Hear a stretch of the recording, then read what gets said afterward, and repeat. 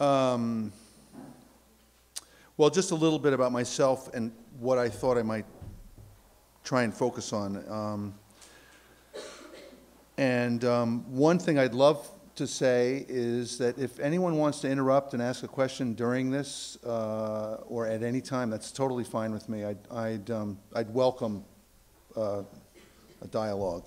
Um, So, these are just a couple things about me that, that really kind of formed me as, uh, as an artist. Um, the top two pictures are um, uh, work by my father. He was, uh, his name was Ralston Crawford. He was a pretty well-known artist and a big influence on me. Um, uh, the photograph on the left is the, this blacksmith shop in Tuscany where I worked, um, and ended up spending a, close to 10 years there, um, maybe seven out of 10. I came back and forth uh, between New York and there. And I, um, I don't want to get ahead of myself. I think, I think I have, it's hard to keep these notes straight with the pictures, but I think I'll be able to talk about this a little bit more later. Um, And then the picture on the right is just um, some current work in my studio, but I ended up with a, uh, a place in Brooklyn that I can, um, was able to continue working with uh, forging techniques and uh, um, machining, basically direct uh, metalwork. Um, Then, um, you know, I thought we might try and keep an eye on a couple of things, uh, you know, uh, that, to sort of focus this, and, you know, one of them, one of them is abstraction, um, which, uh, this, this kind of, this is a photograph on the, uh, that my father took on the left, and a- lithograph. Um, But he really stayed very close to things he saw in one way or another. I mean, this is obviously about light, but um, uh, that affected me. I, I don't know, actually, I was thinking about it when I was writing this. It wasn't like this was laid out to me when I was a kid, but um, um, I did end up um, staying very close to things I, I saw mo- most of the time. Um, I also believe rules are made to be broken, so not all the time. Um, The, the other thing is that, that really I, I kind of wanted to talk about, that I feel sort of, um, it's the most, it's the easiest to talk about in a way, it's the most objective, but um, is technique and materials. And um, by that, I don't mean, um, uh, you know, how to do it, although that's a big part of, uh, big part of it. Um, I mean more um, technique as in practicing a language, and that um, uh, I, I do see the way I work as a kind of language, a visual language, and that the, the more I am able to say, uh, the more fluent I am in the language, the more I can express. Um, I think maybe musicians are the closest, um, you know, analogy that I can think of, um, where they really, uh, I mean, they, they practice all the time in order to be able to kind of do something else. Um, Joshua Prince-Ramus is an architect I happen to hear um, say, um, you, you can't create unless you know how to execute, and you can't execute unless you know how to create. Um, and I'm sure lots of we, us artists in this room, you know, I mean, it's sort of, it's an iterative process too. It, you know, I create something, I execute it, that in- then changes how I create the next thing, and it just keeps going um, for I'm, uh, many of us. For me, it's a, it's a big part of how I work. I, I get as much out of uh, how I work and my process and my materials as I do um, what I look at, what I read, um, other art. um, I don't separate concept and fabrication. They're, they're married. Um, it's also in this, it's important for me to work with my hands. I, that, and that leads back to this, probably the most difficult word I have of my topics, but uh, Um, I have to assume this is true for any medium, that, that, you know, any, anybody making something in any way can have a close relationship with how they work, and that that's better than not having one, in my opinion. But it doesn't have to be um, a craft. It could be, I assume, um, you know, anything. Um, and, you know, the last word I thought I would throw out is transcendence, um, which is, you know, I want to keep that real simple. I, I don't, you know, this is not a theology uh, lecture at all, but, but, um, you know, um, I don't get up and go down to the studio and think, you know, what'll, well, what'll I transcend today? It's, uh, it's, I just work, but something happens, and, um, you know, uh, that's, that's the thing. I mean, uh, um, the more I, the more I work, the luckier I get. You know, it's kind of like that. There's not, I don't really have a kind of step, chain of steps between working and what can sometimes happen. But it's, it, it certainly happens, uh, and if we're lucky. Um, and, um, you know, I think that has to do with sort of the, the larger themes, you know, uh, the handprint on the cave wall, you know, I mean, I don't, I- we really haven't improved on that. And it's for everybody, you know. Um, how, uh, how transcendent is that? Um, and, um, you know, uh, the only other thing I would have to say about this is that, you know, whatever transcendence is, it, it doesn't, it's not dependent on technology. Uh, technique is different, but, um, in the way I'm using it, but, you know, you don't have to have, um, the latest stuff or a whole bunch of stuff in order to make things. And in fact, you know, the latest is always, you know, dated tomorrow. And, uh, again, that handprint on the cave wall, I mean, that's a, you know, they didn't have much to do that. Um, uh, So on that uh, note, I will dip a little bit into just the technology. Um, Oh, I have a pointer right here. Uh, This, this, this you saw before. This is, uh, this is 12th century technology, basically. This, uh, it was, uh, basically, it's a water-powered shop. And um, by um, pushing this lever here forward, maybe I'll try this thing. Uh, You know, you can turn on the water, and this starts banging up and down. And um, with uh, hot metal, like here, would, um, it become, it's quite malleable, and you can make um, all kinds of things. Uh, It was one of the earliest ways of working. Um, These are uh, a kind of farm tool. um, It's actually a kitchen utensil, but the shapes um, uh, were consistent with farm tools and other things that we made. This, we made shovels and hoes and axes, and all by hand with this, with this uh, equipment.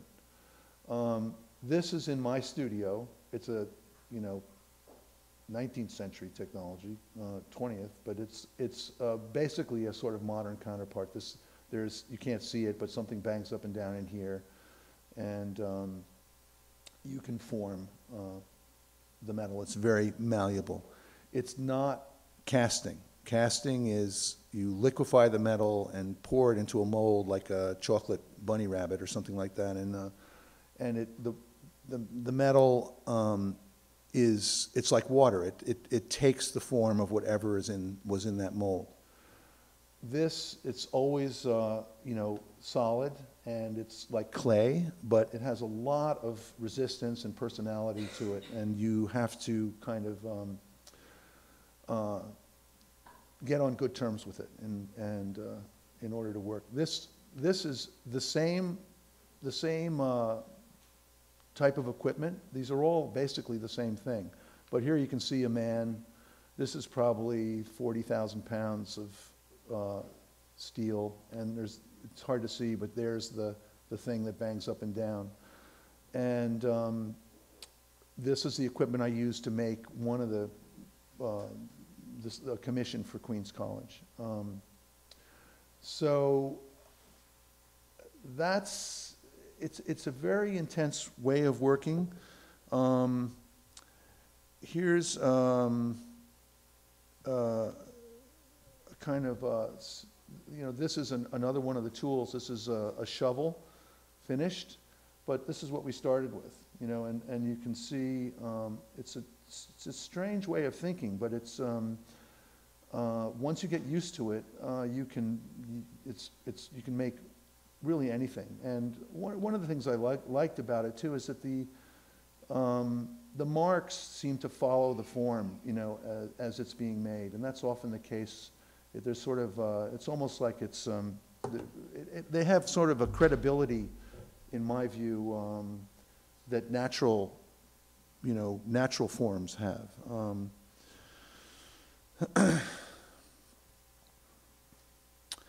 Another thing that I really responded to, there's, the, in, in, was this kind of anonymous, um, and unpretentious design of these, of these tools. You know, they were, you know, it wasn't about how the blacksmith felt that day, and it was um, uh, very um, uh, economic and spare um, and sort of egoless uh, uh, series of decisions to make these shovels this way and other shovels another way, et cetera. And um, I, that really affected me uh, in a number of ways, uh, um, making these tools. The shapes themselves, and I think I'll get back to this later in the lecture, so I don't want to get too ahead of myself, but the shapes themselves and also the process um, of um, a kind of uh, repetition of making something over and over again and what, what- how that, that happened. Um, Let's see. Okay, here we go. This is what you've all been waiting for. Um, I, um, it is a bit of a bait and switch. I actually, um, you know, most of these decisions were, in looking back, and I don't, I don't know what's going on now, but um, it fairly unpopular at the time. I mean, um, the choices, most of the choices are, at least that I'm revealing to you in part one, um, are, um, were uh, choices about, about getting really close to a material. You know, I, I, I moved away from the States and from New York, my home. I spent many years trying to learn how to, how to uh, work with this material. Um, and I've pretty much, I've, I do work in other materials, but, but this is really a very close relationship for me. Um, uh, I also, I basically had to build a factory in order to continue working. The, the, the- it's not a, it's not a facility that's available, you know, out there. Um, and uh, lastly, I work directly, you know, uh, I'm, I'm not unique in these bad decisions, by the way. I'm sure the room is full of people with um, horrible histories of decision-making, but uh, I worked, uh, you know, it's very slow. Working directly this way um, takes a long time to make each piece. Um, uh, At the end of the day, you, you know, I don't generally have uh, something that I can turn into an addition um, very easily. uh, um, And uh, so all of these things were kind of uh, um, not, not popular ways to, to, to work at that time. Um, I'm going to just uh, click through now. That's sort of my, that's the background. I mean, um, I'll go fairly quickly. You can slow me down. Uh, um, This is the- actually the first piece I made in Italy, um, in this shop, and I, I'd been working on uh, boats and ships, and I loved the farm tools. That was actually the original, the original decision, the sort of was, was based on uh, uh, picking up some farm tools and liking the way they looked as departure points for sculpture. Um, And uh, um, I, I, um, I think I'm gonna be dipping around, but that's sort of, in that sort of abstraction idea. Um, I, I felt that, I, I, I, early on, I learned from making the tools, but from looking around, that I could sort of blend, um, different visual sources at a, you know, uh, and, and come up, come up with something that had references to different things, such as ships and farm tools, um, but um, wasn't really um, too specifically related to, to anything else, uh, to either, or, or wha- whatever number of sources I was em- employing or using. These are all, these are all wrought iron. These are all sort of this first group of pieces that I made um, in this shop in Italy. Um, I was learning also at the, at the time uh, how to work, and then I was, I was making the tools. I was, it was all very, very new to me. Um, uh, That'll, that's something I could talk about in the next, uh, in the next slide. But this, this, these three pieces fit together. You can sort of see the, uh, um, the, uh, you know, influence of the, these tool shapes. Um, But it also, um, there's sort of a, uh, fulcrums and a counterweight here that, um, uh, so that the whole thing actually, I was sort of proud of myself that it didn't just look like some, it did something. It actually held itself up and did something. That didn't do much, but it did do something, yeah. Um, uh, These are, um, I was sort of throwing everything but the kitchen sink in at this early stage. I mean, I was just, I was a sponge. I was, I was, everything I saw these uh, Smiths do, I, I, I tried to learn. And things got pretty uh, baroque. Um, And then there's a, a couple of years' work in between these two pieces. And uh, then uh, things got much, much simpler, and then I started working back into something that I think still has this quality of um, structure to it um, that I had uh, um, found out about sort of working with, with the tools. Um, Let's see. This thing is not there.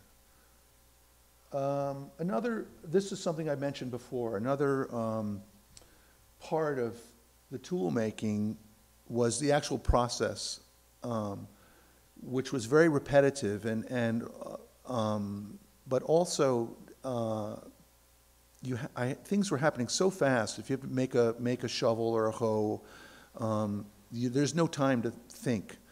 Uh, and you have to have a kind of like a, you know, the turtle knowing the island he came from. You have to have it sort of imprinted on your, in your muscles, is that what the shape and the proportions of a particular tool are. And um, I, a couple of things, that I needed to do that for, um, in order to learn how to make my own shapes, in order to practice. Um, and I also needed, um, I also felt that somehow there was a kind of credibility that, that was increased by that, that um, repetition, at least for me, I convinced myself anyway.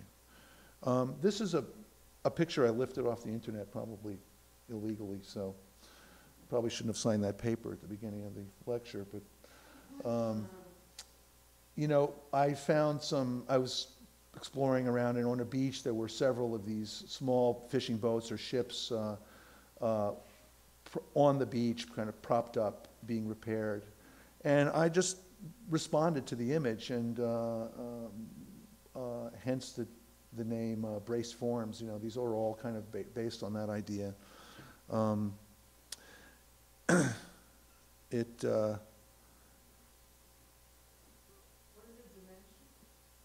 Uh, These sculptures are quite small. Those are maybe, I don't know, about 12, 18 inches tall. If there, there are, um, uh, I did make several that are three or four feet tall. Um, I, I put them in a, um, uh, I thought I would sort of go through in a kind of hopefully streamlined way, so we don't have to wake you all up at the end of the lecture. And, uh, but I do have some other slides if you, uh, I'm not sure I'm comfortable trying to hop around at this point, but I could show you some pictures of larger versions of this. Um, Can I just ask you, Sure if, were, did the, did the guys at the Forge let you, um, indulge in your artistic experiments, uh, there, or did you have a studio elsewhere here? No, no, it was there, it was there. Um, It was, a- you know, I mean, I had no equipment. They knew you were a sculptor, but they certainly, didn't they sort of like, go poo-poo it? uh, Uh, well, Italians, you know, they're pretty, pretty, uh, you know, I, I actually used to sit, I'd be sitting on the, the steps, you know, staring at, uh, you know, some, something like this, right? Some kind of bent piece of metal, and a farmer would walk by and ask me what I was doing. And, and I find, I figured out that the answer was, uh, capriccio, you know, caprice. And then he would, oh, yeah, caprice, no problem. I, you know, I do that all the time. And, uh, so, um, uh, it was, uh, it was doable. Um, and it was also that, that it was near um, the, uh, Pietrasanta and Carrara, where there were a lot of uh, sculptors. So it wasn't a completely foreign idea. But being an artist was, um, it's much more uh, embedded in the sort of general culture over there. It's not, it's not, uh, you know, we're not such pariahs over there. You were there from what age to what age? I was there from 22 to 32, with coming back and forth. Um, If you have any more questions, please save them for the end of the lecture because the other room can't hear them. Oh, okay. Uh, So these are some, these are some pieces I'm, I'm working on now, these uh, sort of stirrup shapes that, that I just thought I'd show you. I I still use that process. I mean, the- these are these tools that you saw in that, uh, in that uh, first picture. But these are all things I'm not going to use, um, at least for the, for the particular, I'll use them with something else, but they're, was, this is what I've needed to do so far to just kind of learn, uh, familiarize my, my body, if you will, with making these, um, these shapes. Um,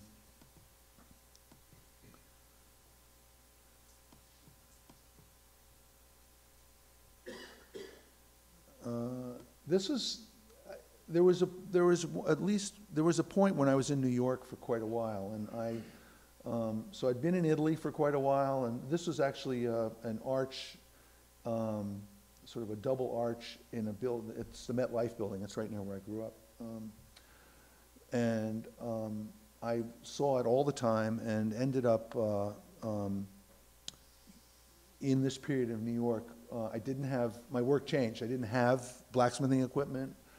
Um, I, um, and it was a really urban environment as opposed to this completely rural uh, setting. And, um, and I ended up again with these sort of arch forms that, um, um, you know, I felt were really kind of uh, close cousins to the tools and that they were really, it was really about structure. There's lots of different ways to handle that. Um, let's see.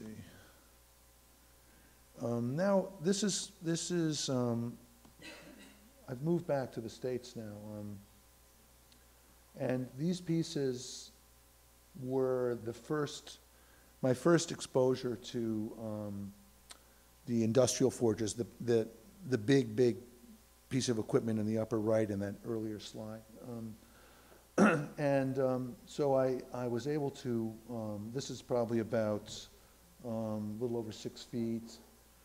Um, You know, that probably weighs, I don't know, five or 600 pounds. Um, um, It's, it's, uh, trying to, let's see.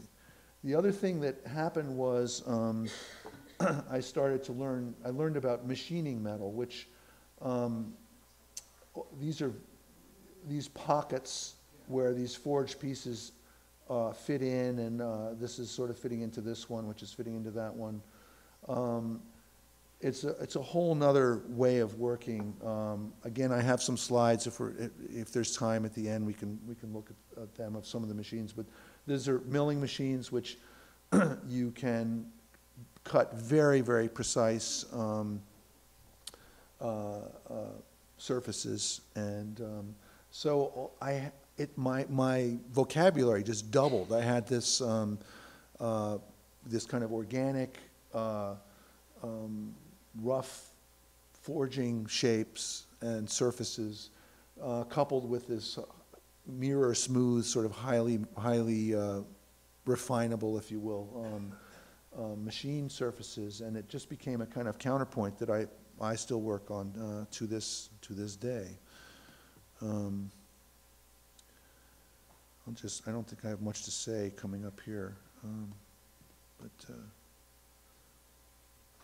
so, yeah, I you know, that piece you just showed, the remarkable thing about it is that each piece is separate and they fit together, when you show the picture, they may not realize. oh, yes, that's a good point. Um, apart and it looks like it's one piece. I'll, the, the, the quest, the, the comment was that each piece in that, in that slide before was, uh, let's see if I can find it. Oop. Yes, no, no, all of these, all- the, the question was, or the comment was that all of these pieces are actually separate pieces. And that's actually true, I mean, uh, this is, this is, the- I, how things fit together, you know, if you wanted to do uh, your, uh, you know, PhD on me, you might want to uh, think about that, you know.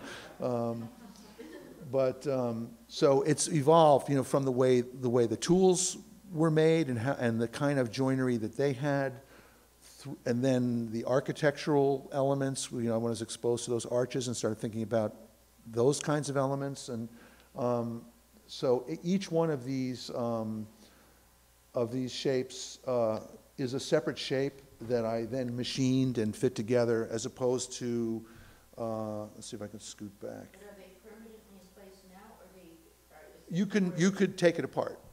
It, they, they, Top that opens it up and it comes apart. there's, yeah, there's some, uh, secret uh, pathways inside.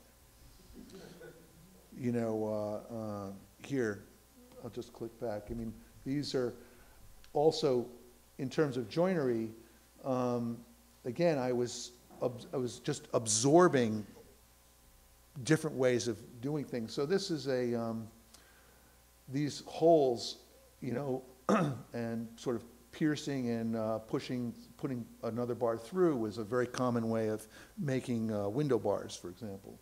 And um, I'm not sure where this, these joints came from, but uh, um, you can see this, this one actually moves. This is the only thing I made that moves, um, except for very recently. Um, So, uh, here's a little, this is just sort of a little thread that led up to, I mean, also, you know, as you know, these, this is, it's so linear, right? This is not actually the way my life is, you know? Um, uh, But, you know, there are, th- this next series of slides sort of shows some things I draw, for example, that's some iron pyrite. Um, uh, Another drawing that I made, and this figure from Micronesia with all these little figures all over it that just kind of, it it just arrested me. I mean, a lot of, uh, I, I guess we all have that experience too of, you know, it, it doesn't start for me with, so much with uh, ideas as it does with some sort of uh, visual image. And I, um, I, uh, I really felt this was a kind of a expression of like, you know, one thing about fractals, I also, you know, we, a lot of us have looked into sort of mathematical uh, progressions and things and science and stuff like that. And uh, that this was sort of a really poetic uh, version of, uh, you know, self-similarity across scale, which is a, a, you know, a, a notion, uh, an aspect of fractals. Uh, Uh,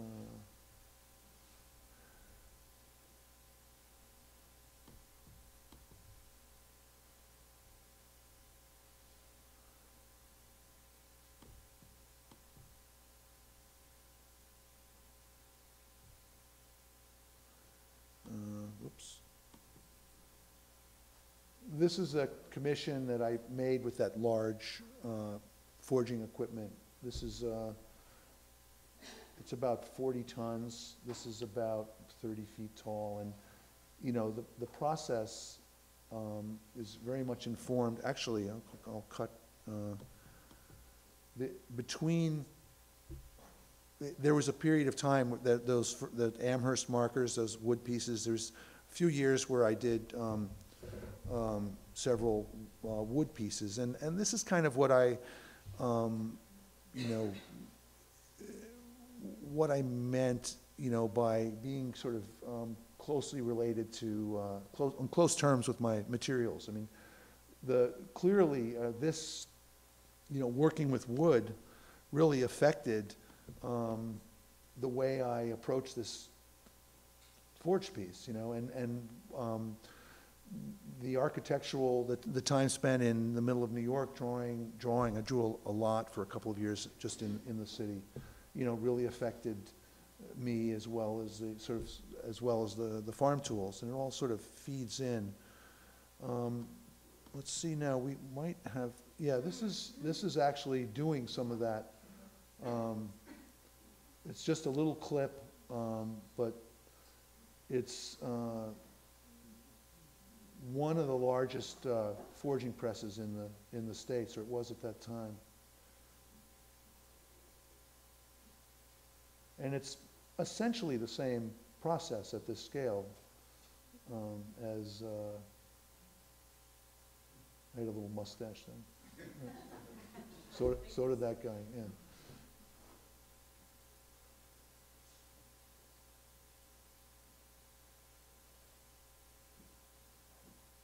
Even th- these guys actually, whoever taught, oh, Sarah, it was about, um, they, they kind of accepted me after they um, got used to me. That was sort of the end, that, that, that, that kind of also changed my work. I mean, it was such a, you know, um, uh, you know, heavy-duty kind of way of working, um, that things, I, I just, I got interested in another kind of architecture, sort of, you know, primitive housing, and there's other influences there, I'm sure you can imagine. The material?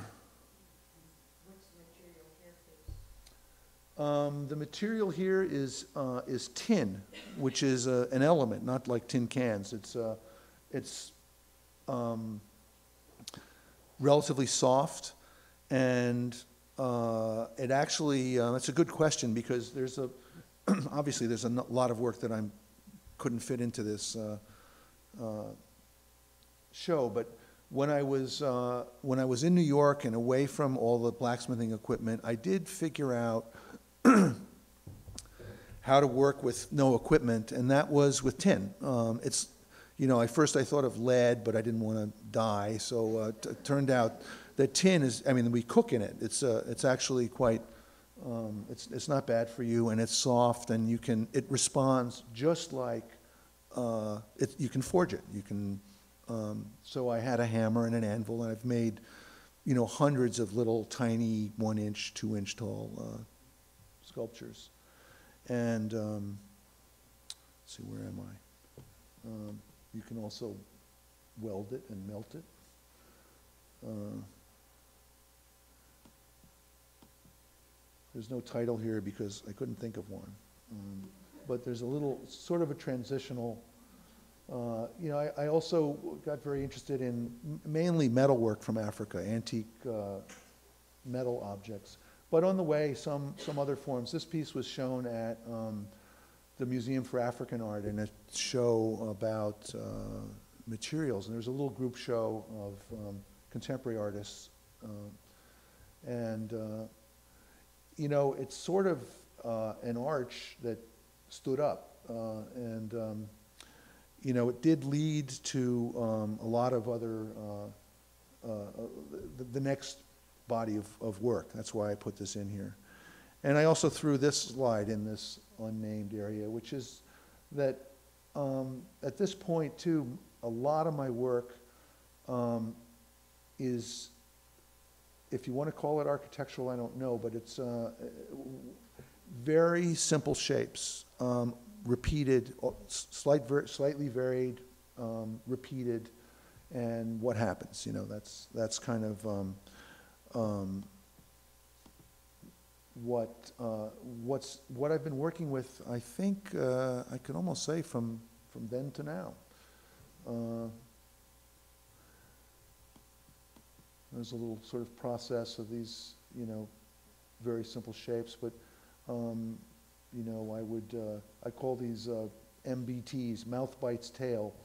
Uh, this, you know, because they would get, they would get put together in, in this fashion by squeezing, uh, um, I can't seem to move the slide, squeezing, squeezing the one shape onto another. Um? These are, the, the height of these is uh, between, say, six and nine feet. I think, say, you know, six and nine, something like that. Um, I then, you know, started exploring, you know, there's, I, I realized at some point I didn't, didn't have to just be a, a line. And I think now we're, it's really more about pattern. I, I could move laterally as well, well as, uh, uh, vertically. And, um, uh, this became a kind of, really a kind of a language. You can sort of see how they're squeezed together, but this, this, this is, again, um, you know, to a great extent, uh, or at least part of it is coming out of the material itself, you know, what, what, what it can do.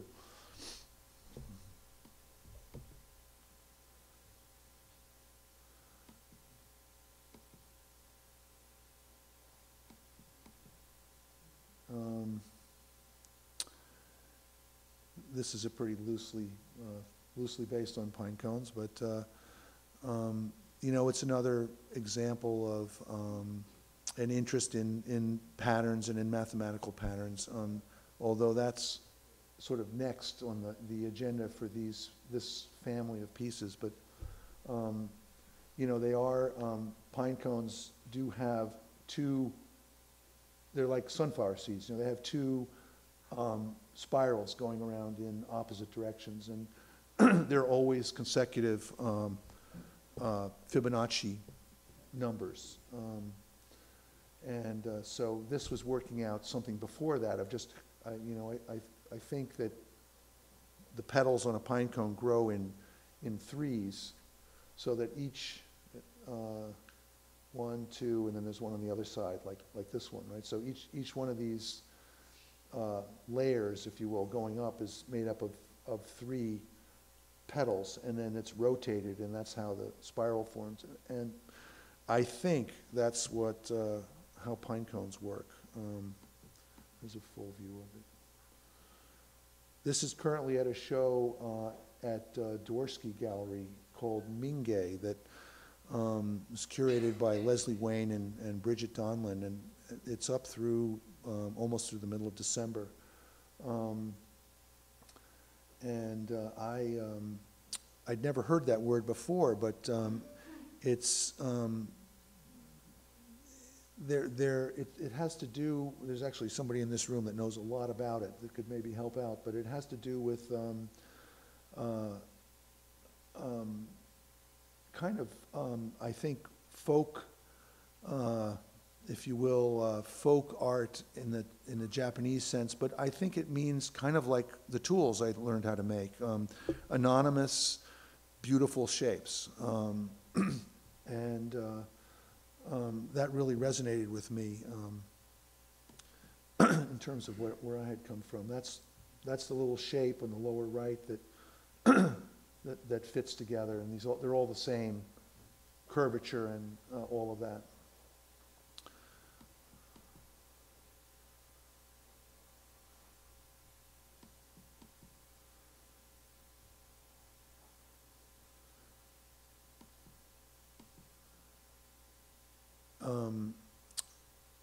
I, uh, another kind of uh, poor man's fractal, if you will, uh, is uh, um, bifurcating shapes. It's, so again, it's this one uh, this one shape, this sort of Y shape or stirrup that um, attaches to two, and then, and then four, and eight, and so on. Um,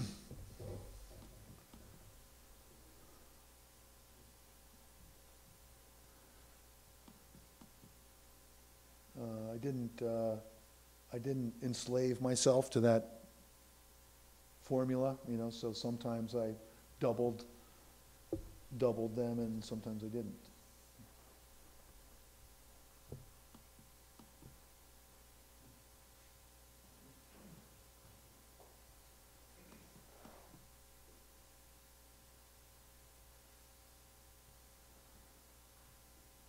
Um, So we're near the end of the lecture. There we go. This is what I'm doing now.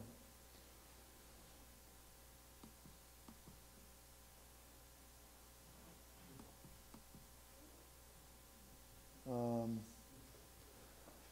I, um, I sort of, th- this is now turned into something else, but, um, um, you know, kind of a combination of uh, architectural elements and sort of plant, plant-like life. I, I machined them all, um, and, um, putting them together, um, into things like that. I'm not sure what's gonna happen here yet.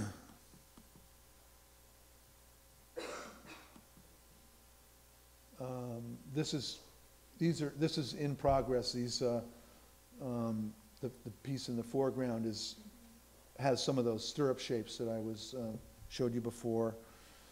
Uh, And, let's see, they sort of fit together like that. They also come apart. Um, And that's another one I'm working on. Um,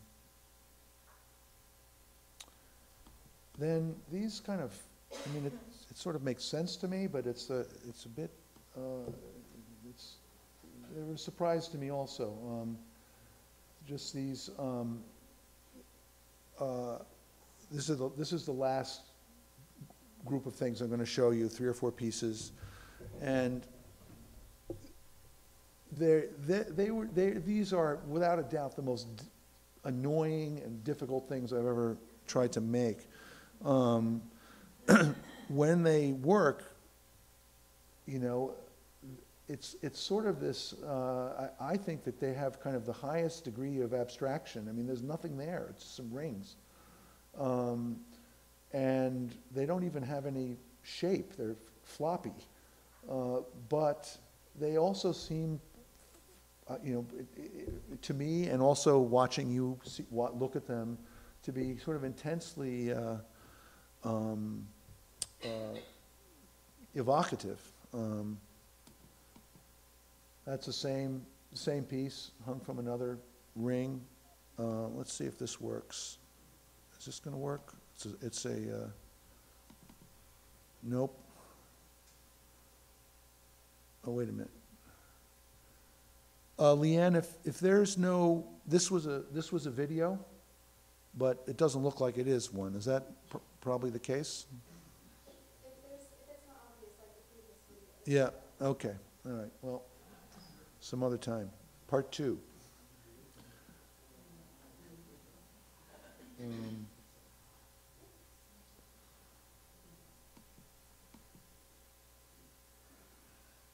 That's not, th- th- these two are, this, these two are not uh, finished yet. I mean, that, this is pretty close.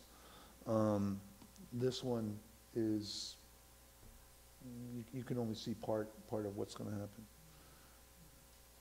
What is this made out of? These are, um, these are all steel. You said they changed, oh, you mean you changed the shape, okay. They change, I mean, uh, they're, they're floppy, they're, you know, you can, um, that's, that's what the video was about. You can, you can, uh, pick these things up from different places. They, they, uh, you can see down here in the, uh, you know, I don't know what this is, but that's a pile of something down there that, um, you, you could pick it up and it might be this, or I, I don't, just don't know what that particular piece There's is. so many possibilities of what those things look like that you don't even know. Well, yeah, yeah, I mean, I've, I've, um, th- this one in particular. And this is the only, you know, the, the, the last time I made something that moved was that piece in Italy uh, thirty-five years ago, or whatever that was.